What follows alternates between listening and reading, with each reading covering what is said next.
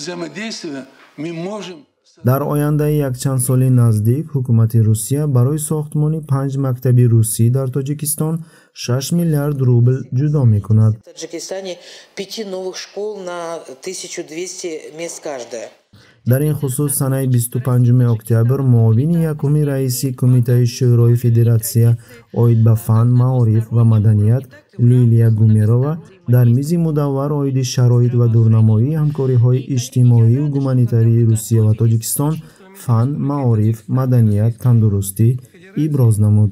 Чорабиниҳои мазкур дар чорчӯбаи шашумин форуми байни парлумонии русия ва тоҷикистон иқтидори ҳамкориҳои در شهر مسکو برگزار گردید.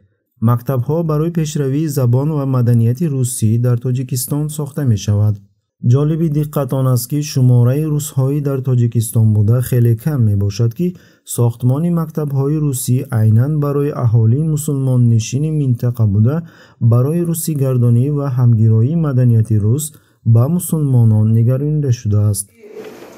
какая по национальности? Ксюша ты русская? Ксения, ты русская?